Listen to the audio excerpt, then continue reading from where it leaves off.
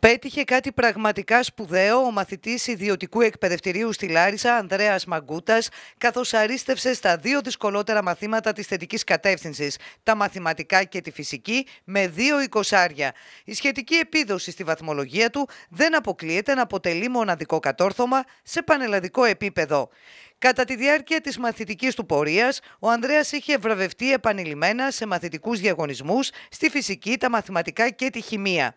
Φέτος, στην τρίτη ηλικίου, στηρίχθηκε όπως έγινε γνωστό μόνο στο σχολείο του για την προετοιμασία και επειδή τα αγαθά κόπης-κτώνται, είναι χαρακτηριστικό ότι απουσίαζε μόνο τρεις ημέρες ολόκληρο το χρόνο.